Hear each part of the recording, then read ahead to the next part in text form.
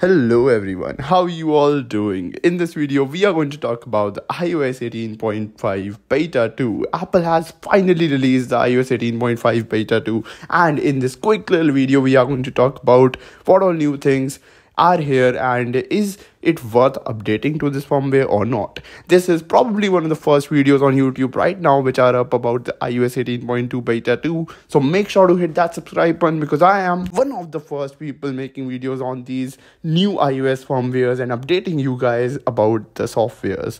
Let's get right into this video. Well it is a boring apple update day. That is a, a spoiler. The iOS 18.2 I have installed it on my device and there are good news but there are more more bad news here. Let's clear this out real quick. That is there battery intelligence features and like let's just clear it out battery intelligence features are not here on ios 18.5 beta 2 yet they are not going to arrive anytime soon probably the public release of ios 18.5 beta 2 gonna have those features but as of now i can't really see those things over on the iphone 15 pro and the 16 series coming out anytime soon. Probably the ios 18.5 beta 3 or the public release slash rc version is gonna come with that feature. Other things the animations and uh, opening of apps and all feels a bit more fluid and silky smooth on older devices like the iphone 13 and iphone 12 performance definitely feels like it is a bit more polished and better on ios 18.5 beta 2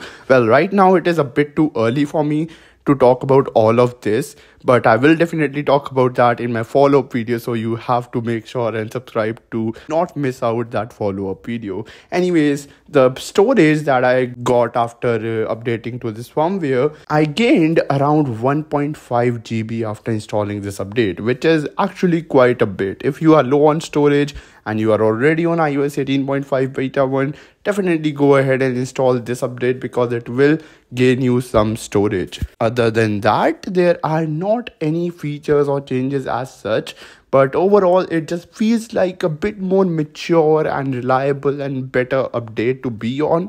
There are bug fixes and security update on the beta 2 but nothing to be really excited about. Talking about the battery life the battery life again it is very early for me to talk about battery life right now. I just installed it and giving a take about battery life right now would be a bit too early so i just wait for some time use my device for a while and by the end of tomorrow i will post it on my twitter so make sure to follow there that how is the battery life been on my devices on iOS 18.5 beta 2. Is it any better? Is it any worse? All of that. Along with that, in other news, WatchOS 11.5 beta is also here. So all those people running WatchOS betas, there are there's a new beta for you tvOS new betas are out as well. tvOS 18.5 and visionOS 2.5 updates are here as well. That's pretty much it for today's quick little episode. Thank you so much for watching this video till the end. Until then, this is me, Jai, aka Tech Hyped, and I am signing off. Peace out and have a great day, everyone.